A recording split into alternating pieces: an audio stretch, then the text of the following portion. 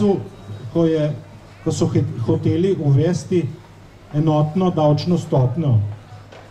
Takrat sem napisal tale kratek članek z naslovom EDS da, če UTD. Na ta način ga tudi najdete na internetu. Torej, pogojeval sem, ne, EDS da, če UTD. Tudi enotno davčna stopna bi bila smiselna in sprejemljiva edino pod pogojem, da bi hkrati z njo uvedli tudi univerzalni temeljni dohodek, UTD. Tudi UTD je enostaven, pregleden in bi zmanjšal birokracijo podobno kot EDS in kar je glavno, UTD bi negativno plat EDS za revne povsem izničil. Zanimivo je, da je UTD nameraval uvesti že ameriški predsednik, imajo ga na Aljaski in kot manjši prototip tudi v Sloveniji, kot dodatek na veliko družino, ki ga dobijo vse, tudi bogate družine. Pri UTD gre za idejo, po kateri bi recimo vsak polnoletni državljan ali vsak s stalnim bivališčem prejemal vsak mesec neki stalni, z ničimer pogojevani enak znesek, ne glede na to, ali ima ali nima zaposlitve. Znesek bi bil na začetku uvedbe lahko manjši, kasneje pa večji. Ljudem bi med drugim omogočil, da bi reforme preživeli brez prehodih pretresov.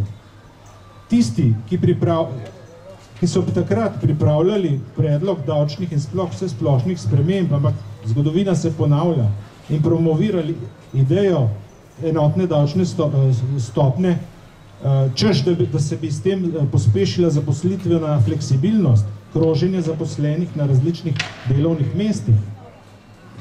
Uh, tisti uh, so se seveda precej zmotili, uh, ker to enostavno ni res. ZDS in spremembo zaposlitvene politike, politike bi le skrčili pravice zaposlenih, s tem pa se njihova fleksibilnost ne bi povečala, ampak bi se ogrozil njihov status zaposlenosti fleksibilni bi bili iz prisile, eksistenčne ogroženosti, ne pa iz želje ali vedoželjnega in izkustvenega interesa. Če pa bi uvedli UTD, bi bila zaposlitvena fleksibilnost stvar svobode in izbire in ne prisile. Ob želji po zamenjavi službe eksistenčna vprašanja ne bi bila več prioriteta in sploh ne na seznamu plusov in minusov, tako da bi menjava služb postala nekaj neobremenjujočega in res stvar želje po osebnostnem razvoju, kariernem napredovanju. Hkrati potem tudi zaposlitev za določen ali nedoločen čas ne bi bila več problem za bančne in druge kredite, ker bi vsak polnoletni državljan s stalnim prebivališčem imel zajamčen vsakomesečni enotni dohodek, ne glede na druge okoliščine. Če pa sedaj izničijo pravice iz zaposlitve za nedoločen čas, uničijo recimo perspektivo vsem mladim, ki upajo na dolgoročne stanovanske kredite, vsaj na podlagi stalne zaposlitve. Ljudje se zaradi UTD ne bi odrekli, odrekli kreativnosti in ustvarjalnosti, le nekaj bi se pa res spremenilo.